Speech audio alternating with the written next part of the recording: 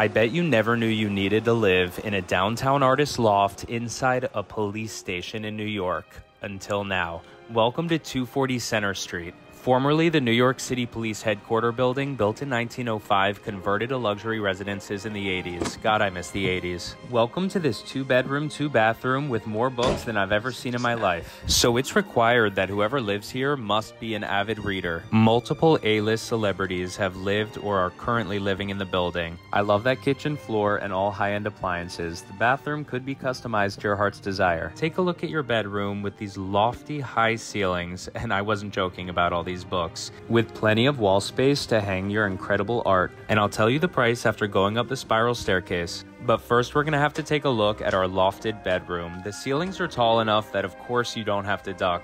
The price of this one is $3 million, and your monthlies are incredibly low, below 3200 Would you live in the New York City former police?